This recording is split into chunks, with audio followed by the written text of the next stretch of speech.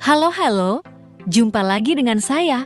Kali ini saya akan memberikan sedikit tips tentang game Club Code, yaitu tentang marketplace yang ada di Club Code.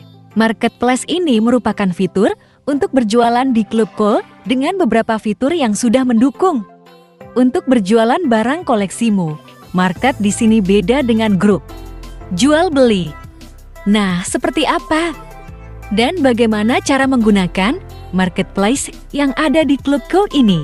Silahkan simak video ini sampai selesai namun sebelum itu, silahkan like dulu video ini. Bagi yang belum subscribe silahkan subscribe dulu. Channel ini jangan lupa nyalakan. Loncengnya juga ah, terima kasih. Baiklah, untuk jualan di marketplace kalian harus menjadi pengguna VIP dulu. Setelah itu, kita langsung saja buka toko untuk mengetahui bagaimana cara melakukannya. Jualan di marketplace marketing ini, kalian langsung tekan marketplace. Di sini, banyak barang-barang yang dapat dijual dan dijadikan kue cash lagi. Dan di sini juga, tidak sembarangan barang yang bisa dijual ke marketplace. Cara mendapatkan barang-barang yang bisa dijual ke marketplace itu adalah dengan cara membeli item-item yang terbatas di toko shop. Seperti contoh-contoh berikut ini, barang-barang yang terbatas yang bisa dijual kembali ke marketplace untuk dijadikan code cash. Barang-barang yang terbatas ini kita bisa dijadikan bahan untuk berjualan di marketplace atau buat investasi ketika di kemudian kita bisa jual lagi barang yang sudah kita beli di bulan-bulan sebelumnya atau tahun-tahun sebelumnya.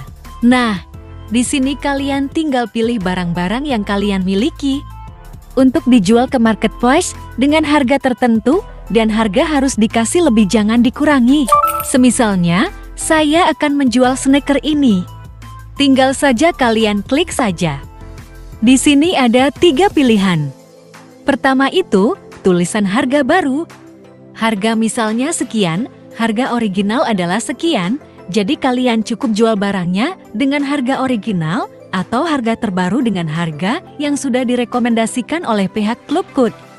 Jadi kalian tidak bisa mengurangi harga barang ini. Untuk urutan kedua, itu adalah durasi waktunya.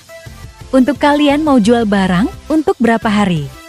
Kalian tinggal tekan saja di urutan kedua. Lalu akan ada waktu yang sudah Club Code sediakan untuk berapa lama barang kalian untuk berada di marketplace. Di urutan ketiga kalian bisa tentukan sendiri mau dijual untuk semua orang atau untuk teman kalian. Misalnya kalian ingin menjual barang, untuk siapa pun kalian sudah saja tampil begini jangan diubah lagi untuk urutan ketiga. Dan misalnya kalian ingin barang buat teman kalian, tinggal kalian tekan saja.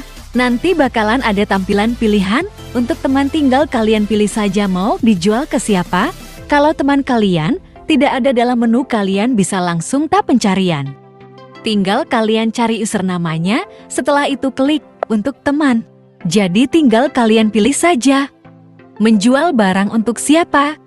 Kalau semua formulir sudah selesai kalian isi sedemikiannya, kalian langsung tekan penawaran sekarang juga.